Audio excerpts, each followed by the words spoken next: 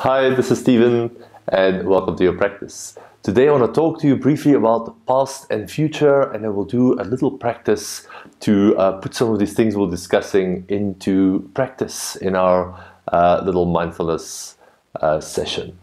The, what is the past? The past is nothing more than a collection of things that you have experienced before. All the things you've ever seen and touched and smelled and heard, the people we've met, the experiences you've had are stored in this huge memory bank uh, of the human mind. And it's really incredible the, the amount of information that can be stored there is practically unlimited.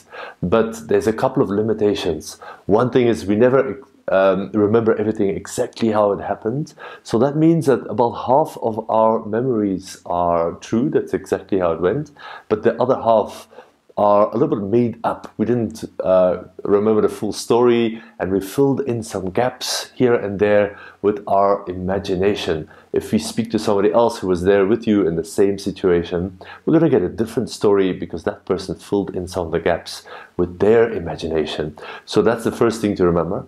Now, what is the future? Is nothing more than what we have experienced in the past and then we've sort of scrambled that story up a little bit, broken it down, and we've added some uh, imagination sauce, I like to say, and that's the future. In our mind, it doesn't exist yet, so we're creating it um, as, a, as, a, sort of a forward projection. But what is it based on? It can only be based on what we already know and what we have experienced before. We can't imagine something that we don't even know exists, for example. So that's future in our mind. And you've probably heard of staying in the present moment and being here in the now.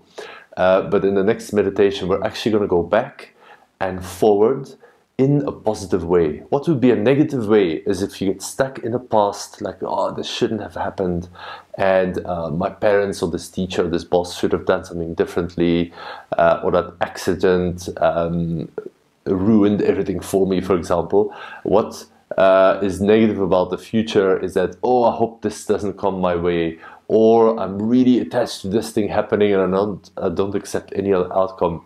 This will hold us back actually in the moment, which is where we're creating our future after all. So now in our short mindfulness practice, we'll do a more positive approach to the past and the future just to experience it. Close your eyes. Take a moment to ground down in this simple place. Feel your body, your mind, your breath all settle in the next couple of moments. Now, first, we're going to go back to the past, and I would like you to imagine yourself as a five year old, innocent little boy or girl with big, curious eyes, looking at the world, experiencing it having your own uh, personality developing, your interests are clear, and you're really excited about life. So just take a moment and, and be with this little person for a moment. Yourself, your older, uh, younger version of yourself. Just be with that little five year old. And then just ask yourself, what would this little five year old be really proud of me doing today as a a 20, 30, 40, 50 year old, whatever your age is at the moment. What would the little version of me with the curious wide eyes be really proud of me doing right now? Maybe you're really kind, maybe you're really patient, maybe you're a good listener, maybe you like to um, go for a run in the morning, doesn't matter. And let go of this past version of yourself. Just let it rest. Take a few breaths and then we'll prepare to go to our future.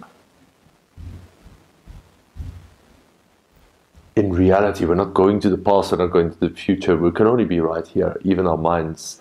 But um, it's nice to imagine these things sometimes to see what we can learn. Now, I'd like you to imagine yourself as an 80 year old.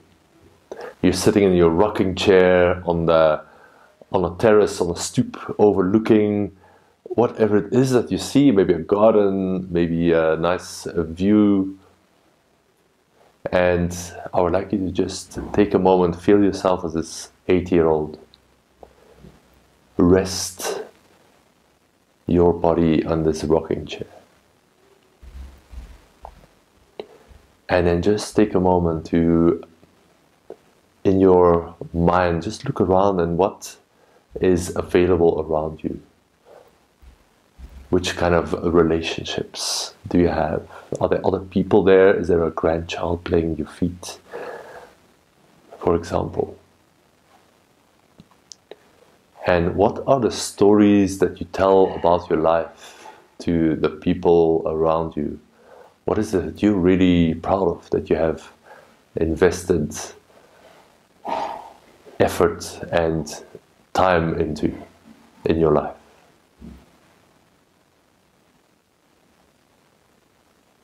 What can you look back on with a real sense of accomplishment? Like this thing I went through, it was really hard, it was super challenging, it took me a very long time, but this is um, what I have achieved.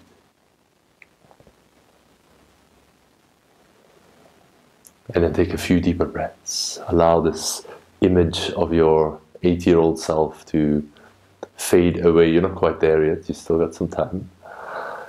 And lower your chin down to your chest. You can blink your eyes open when you feel ready.